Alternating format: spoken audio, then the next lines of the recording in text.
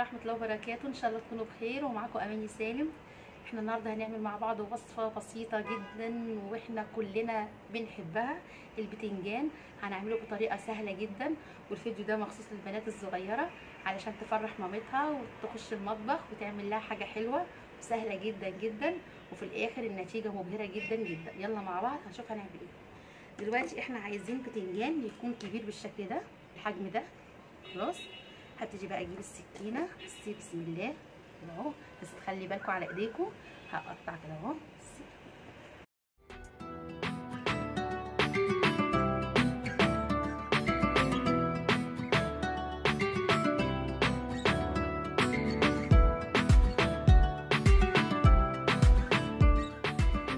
شايفة بقى شكلها بقى عامل إزاي؟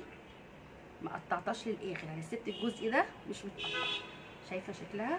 يلا بقى مع بعض نشوف الخلطة هنعملها ونشوف هنعملها إزاي. دلوقتي المكونات بتاعتنا كزبرة حزمه كزبرة طبعا غسلناها وقطعناها وراس توم وطماطم وفلفل. يلا بقى نشوف هنعمل إيه. دلوقتي إحنا معانا معلقة ملح هنحط التوم على الكزبرة والملح خلاص حطينا الملح بتاعنا هنحط فلفل أسود وهنحط راس التوم معلقتين خل ومعلقة كمون. خلاص؟ تبقى الخلطة دي جميلة جدا جدا وريحتها فظيعة. نكون كده المكونات كلها على بعض. ومعلقتين زيت صغيرين.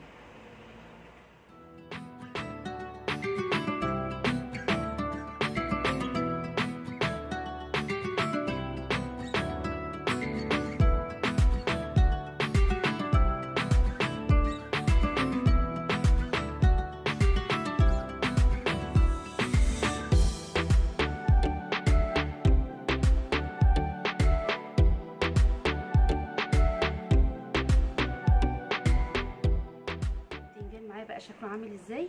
حضرت معايا صينية وفيها ورقة زبدة وحطينا فيها زيت. أحط بقى بسم الله بتنجانة كده بسم الله. شايفه بقى؟ عشان البط... الطماطم ما تقعش مني. هجيب ورقة الخلة كده اهو الخلة احطها كده اهو. علشان ما تقعش مني. شايفة؟ اهي أجيب ورقة الخلة كده اهو. علشان الحشو ما يقعش مني. شايفة شكلها؟ شايفة عندنا جبنة شيدر كده صغيرة. احطها كده بين بعض كده اهو. شايفة؟ خلاص كده إحنا خلصنا. هنلاقي بقى معانا في حشو لسه باقي هحطه كده فوق الوش. خلصنا كده الحشو. ما شاء الله حلوة جدا جدا. وما شاء الله ريحتها جميلة جدا. يعني قبل ما تخش الفرن ريحتها فظيعة. أحط بقى إيه معلقتين زيت كده فوق الوش شايفة؟ وهدخلها الفرن. ويلا بينا بعد ما تطلع هناكل أحلى بتنجان. وإن شاء الله هيعجبكم جدا بالطريقة دي. عاملينها مع بعض نشوف هنعمل إيه. ده الشكل النهائي للبتنجان بتاعنا ما خدش في الفرن بالظبط ربع ساعة. وما شاء الله ريحته ما أقولكيش خطيرة جدا جدا. الكزبره والثوم والمكونات عاملة طعم رائع وريحة فظيعة. ويا رب إن شاء الله تعجبكم الوصفة. لو عجبتكم الوصفة إن شاء الله اشتركوا في القناة عشان يوصل لكم مني كل جديد. وأقول لكم السلام عليكم ورحمة الله وبركاته. كان معاكم أماني سالم وإن شاء الله بألف هنا وعافية.